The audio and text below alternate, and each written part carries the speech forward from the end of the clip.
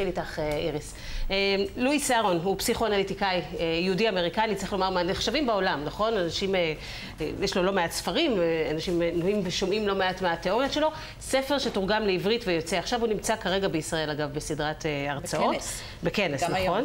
שלמעשה בודק את הקשר בין המטפל למטופל.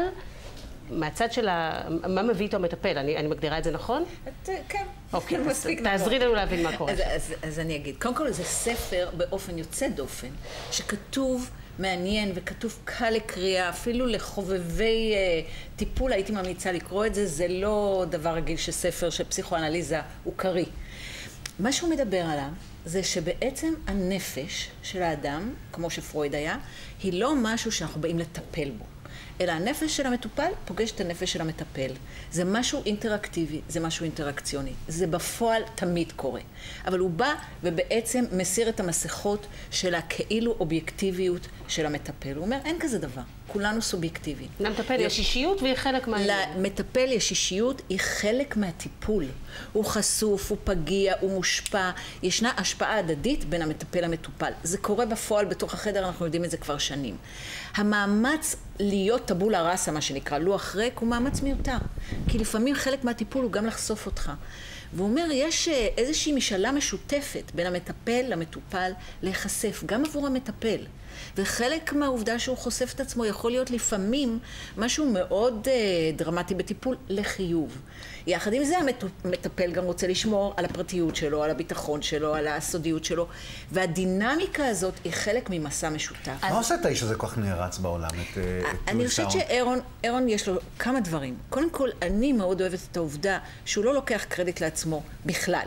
זאת אומרת, הוא לוקח את כל הפסיכואנליטיקאים מההיסטוריה שלהם ועד היום, עושה איזושהי אינטגרציה מביניהם, והוא אומר, הכל אנושי. אבל הוא בא ונותן לזה איזושהי אה, מעטפת מובנת, אה, נגישה.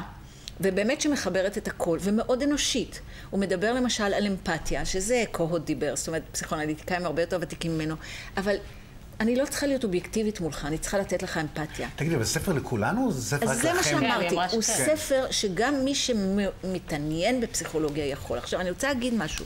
בעיניי זה מאוד מאוד דרמטי, מפני שזה בעצם מוציא את הפסיכואנליזה ממגדל השן, מהמקום המתנשא שלה, מהמקום המרוחק, המנותק והלא, והלכאורה אובייקטיבי שלה, אל מקום הרבה יותר אנושי. אני חושבת שיש לזה גם איזה שהן השלכות פוליטיות, אם נחשוב על זה.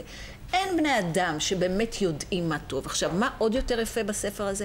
שהוא אומר דברים וגם שואל שאלות, וגם לא בטוח שזאת התשובה, וגם משאיר את האפשרות לדיאלוג אה, מעמיק לכל אורך הדרך. אני רוצה להגיד לכם שאני יכולה להגיד ממרום שנותיי הרבות בטיפול, שאני נזכרת מהעבודה הזאת. אני לומדת, אני מתפתחת, אני עצובה, אני חרדה, אני שמחה, אני מועצמת. כל החוויות האלה מתרחשות בתוך הטיפול, ומטפל שמוכן להודות בזה קודם כל לעצמו, ואחר כך גם לשתף את המטופל, נותן לו גם חוויה של העצמה, ואני חושבת שהוא מדבר על זה.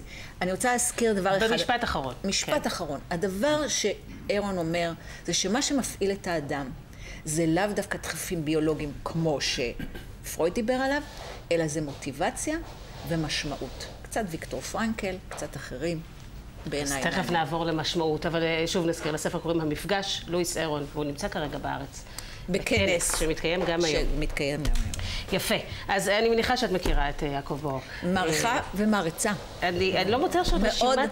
רק, רק שמות הספרים שלך כל כך מרתקים כשלעצמם. כן, עכשיו אני לא מוצאה, אני הכנתי לי רשימה של הספרים הקודמים, רבי המכר שלך, אתה יכול לעזור לנו ולהזכיר? האם שימפנזים חושבים על פרישה? האם הם שימפנזים חושבים. זה, זה פשוט, רע, זה פשוט קלאסי. אה, מדוע טייסי קמיקז החופשים באשדוד? כן, רעש. ברעש, נכון. ועכשיו אתה עסוק בסוגיה הרת הגורל, איך מוצאים חתול שחור בחדר חשוך, לא מדליקים את האור פשוט? במיוחד אם אין שם חתול, כן. כן, זהו, ז- זאת הסוגיה.